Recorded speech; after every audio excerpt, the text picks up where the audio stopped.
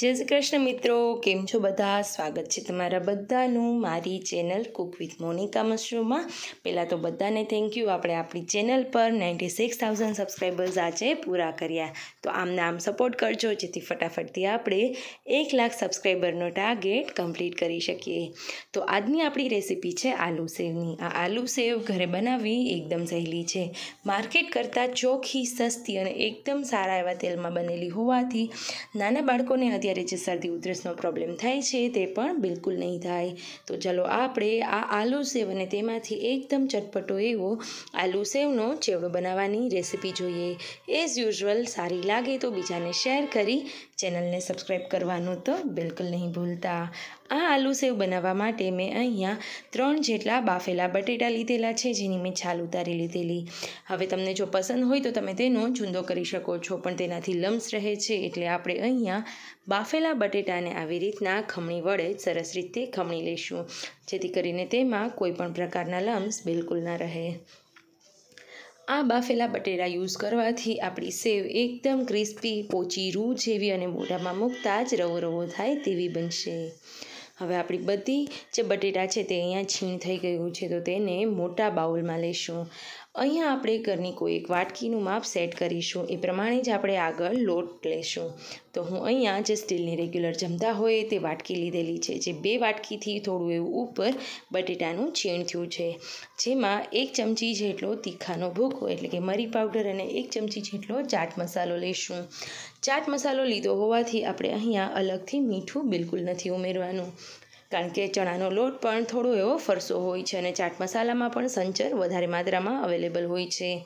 હવે આ બધી વસ્તુને આપણે બાફેલા બટેટા સાથે સારી રીતે મિક્સ કરી દઈશું. હવે અહીંયા બે વાટકા જેટલું બટેટાનું છીણ હતું તો એક વાટકા જેટલો ચણાનો લોટ અને એક વાટકાથી થોડું એવો ઓછો ચોખાનો લોટ લેશું. અને જો તમારે એપ્રોક્સિમેટ લેવું હોય તો સવા વાટકો ચણાનો લોટ અને પોણો વાટકો ચોખાનો લોટ લેવાનો છે. ત્યારબાદ તેમાં બે ચમચી જેટલું હુંફાળું ગરમ કરેલું તેલ ઉમેરીશું. ગરમ કરેલું તેલ ઉમેરવાથી સેવ તમે જ્યારે સંચામાંથી પાડશો ત્યારે એકદમ સ્મૂથલી પડી જશે. હવે તમે જુઓ છો એ રીતના પાણી મેં એક ટીપું પણ નથી ઉમેર્યું તો પણ આપણો લોટ સરસ રીતના બંધાઈ ગયો છે. કારણ કે બટેટાની સોફ્ટનેસ આમાં પાણીની જરૂર પૂરી પાડશે.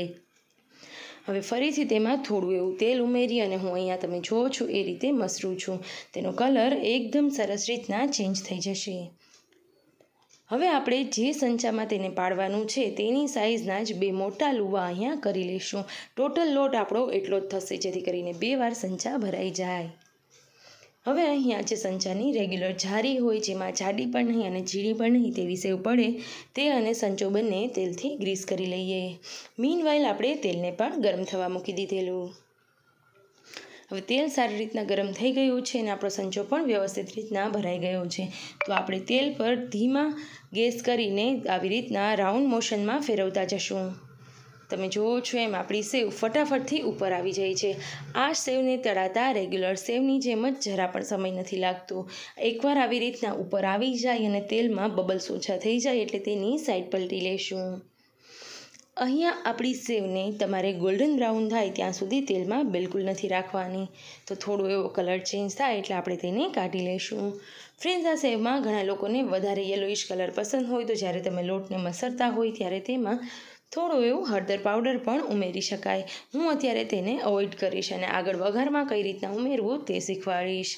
હવે સેમ આ પ્રોસેસથી આપણે સેવ બનાવી લીધેલી. હવે ઉપરથી હું થોડું એવો સંચર પાવડર ઉમેરતી જઈશ. જેમ જેમ સેવના એક એક ગાણવા ઉતરતા જાય તેમ તેમ તેના પર સંચર પાવડર છાંટતું જવાનું. જેથી કરીને તે બધાની સાથે ગરમ હોય ત્યારે જ મિક્સ થઈ જાય.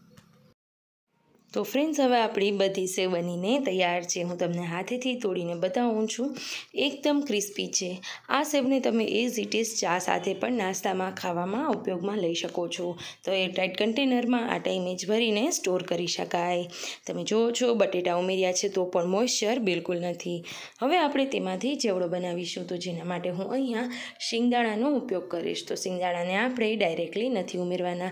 થોડા એવા ફ્રાય કરીને ઉમેરીશું. ત્યારબાદ આપણે વઘાર કરવા માટે લીલા લીમડાના જે ફ્રેશ પાન હોય તે લઈશું તેને પણ આવી રીતના ફ્રાય કરી લઈશું આવી રીતનું ઝારો ઉપયોગમાં લેવો, જેથી કરીને તમારે એક એક દાણા અંદરથી ગૂંથવાનો પડે. ત્યારબાદ પંદર વીસ ટુકડા કાજુના બે ભાગમાં કટ કરીને લીધેલા. હવે આ ગરમ ગરમ બધી વસ્તુ છે, ત્યાં જ આપણે તેમાં થોડો એવો સંજર પાવડર અથવા તો મીઠું, થોડી એવી હળદર મોટી એક ચમચી જેટલો ચટણી પાવડર, બે રેગ્યુલર ચમચી કરતાં પણ થોડું વધારે એવું દળેલી સાકરનો ભૂકો લેશું. તમે દળેલી ખાંડનો ભૂકો પણ લઈ શકો છો. હવે ગરમ હોય ત્યારે જ આ બધી વસ્તુને મિક્સ કરી લઈશું. હવે આગળ બનાવેલી જે બે મોટા સંચા જેટલી સેવ છે તે બધી સેવને હું આમાં એડ કરી દઈશ. તમે જુઓ છો એમ, જેમ જેમ આપણે હલાવતા જશું તેમ તેમ આપણા ચેવડાનો કલર પણ ચેન્જ થતો જશે. તો તૈયાર છે ફ્રેન્ડ્સ માર્કેટમાં હોય તેવો ક્રિસ્પી ટેસ્ટી આલુ સેવનો ચેવડો. ઘરે એકવાર બનાવી મારી સાથે તમારા રિવ્યૂઝ જરૂરથી શેર કરજો. અને હા, જેમ મેં કીધું એમ ચેનલનો આ વીડિયો તમને ગમ્યો હોય તો ફટાફટથી સબસ્ક્રાઈબ કરી દેજો, જે બિલકુલ ફ્રીમાં છે. Thank you